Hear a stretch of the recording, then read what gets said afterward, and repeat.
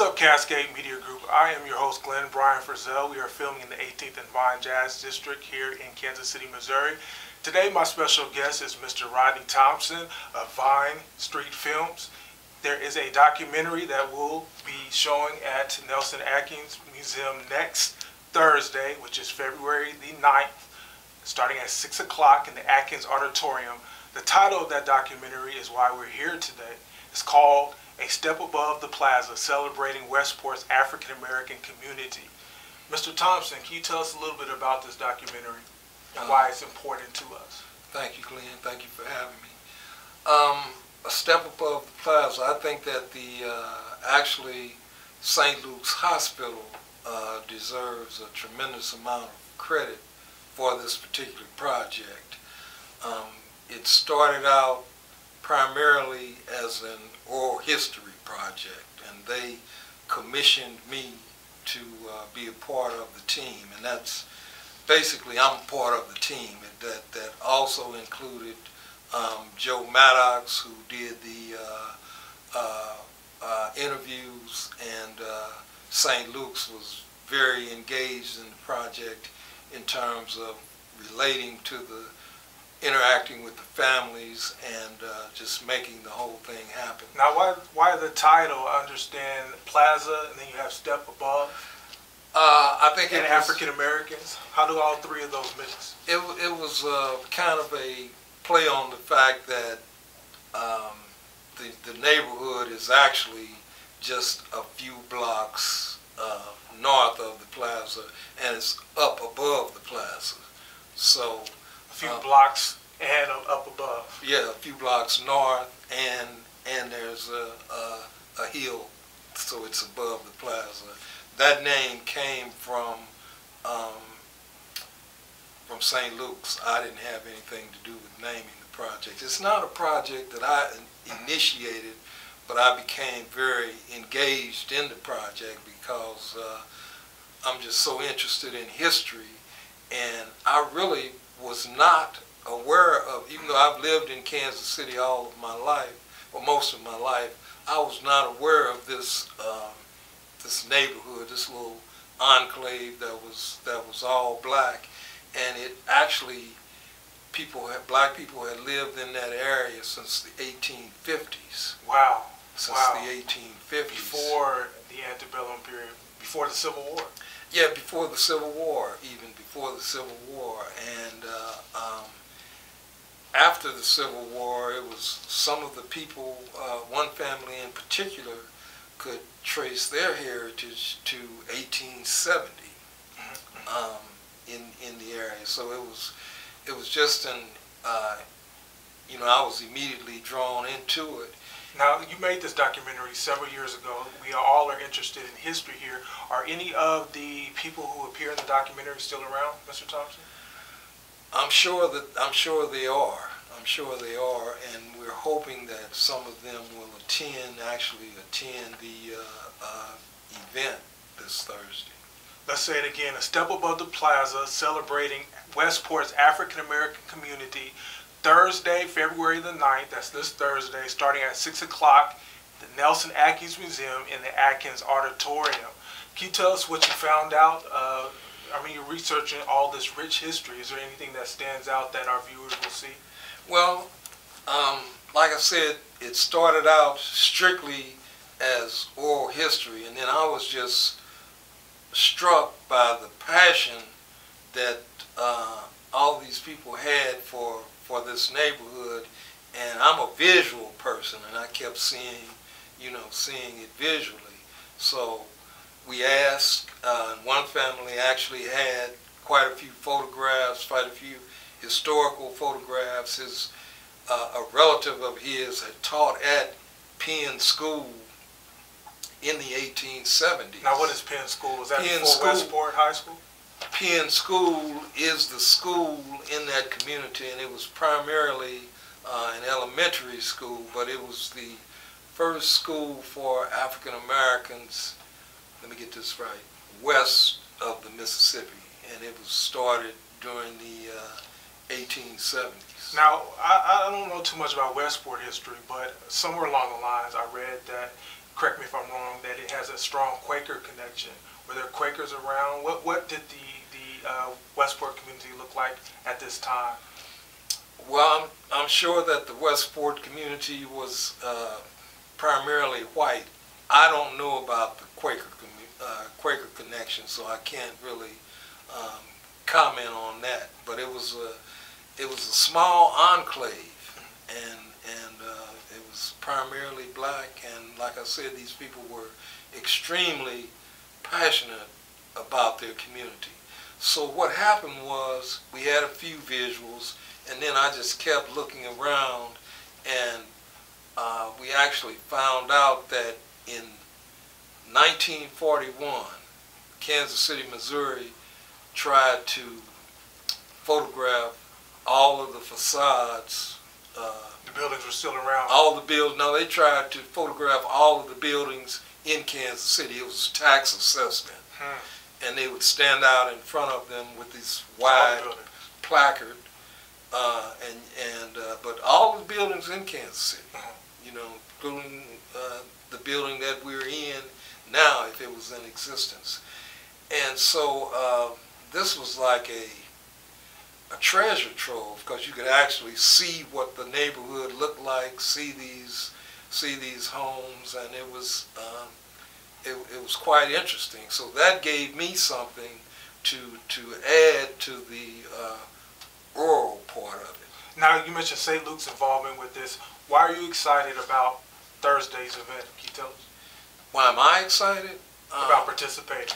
Well, you know, it's an opportunity for people to to uh, to see my work and, and see how much I, I care about history. And um, uh, the Nelson has been a, a supporter. I can't say enough good things about them because they have been a, a supporter of my work, and uh, um, I just appreciate it a great deal. And and I think I think it's important for us to know about our history. It's very important for us to know about our history, and I think it's important for any group to uh, document their own history because if you don't, then you're, you're actually not getting uh, a true perspective. You're getting somebody else's perspective on your history, and quite often it's not the way that you remember it. Carter G. Woodson, Dr. Woodson has a lot of excellent quotes about what you're just now saying, what you're talking about. Uh, now, can you give us a couple of dates? Um, you mentioned 1850. what time period does the uh, Steptoe neighborhood and what happened to it? I don't want to give away too much of the. the it lasted up into up into the 1960s. 1850 to 1960. Up into the 60s before, and uh, actually, uh, and it was there before St. Luke's Hospital, which I think was first built in 1925, and of course St. Luke's Hospital had expansion plans, and a part of the reason that uh, um, the community uh, no longer exists is because they acquired a lot of the property. Now, I, I don't want to shift gears too heavily, but I am a lover of documentaries.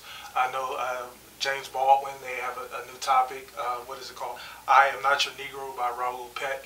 Uh, the 13th documentary that Ava, Miss Ava's done. Can you tell us a little bit about your journey as an independent filmmaker with the Vine Films? Um, my journey, well, it's been uh, it's been quite a journey. I think that is a good way of Vine Street Films. Excuse me. Yeah, that's that's that's a good way of, of putting it. Um, I went to school to study film. I went to San Francisco State University, and uh, I have a master's in film from there, and then I returned to Kansas City, which is not a bastion of, of, of filmmaking, but uh, I was still determined to uh, uh, continue with that work. This is what I was meant to do. And uh, I've been doing it for a number of years. I worked in video production, producing corporate videos for a number of years, and then for the past 10 years or so have been just primarily making documentary films, documenting primarily uh, African American history in Kansas City, Missouri. And this being Black History time period, can you tell us who were some of your role models? Who are some uh, documentary filmmakers that you looked to for inspiration when you were going through film school and starting Vine Street Films? Well, unfortunately, uh, there weren't a lot of well-known documentary filmmakers who looked like us at that particular time. Uh, one particular filmmaker I do remember was his name was Bill Greaves, and he lived in in New York, and I had an opportunity. He was before Tony Brown Journal, correct?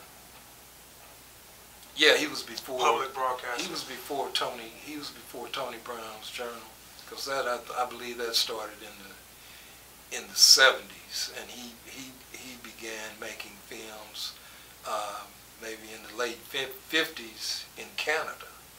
In Canada, uh, he had to go there to get the get the opportunity to learn the craft.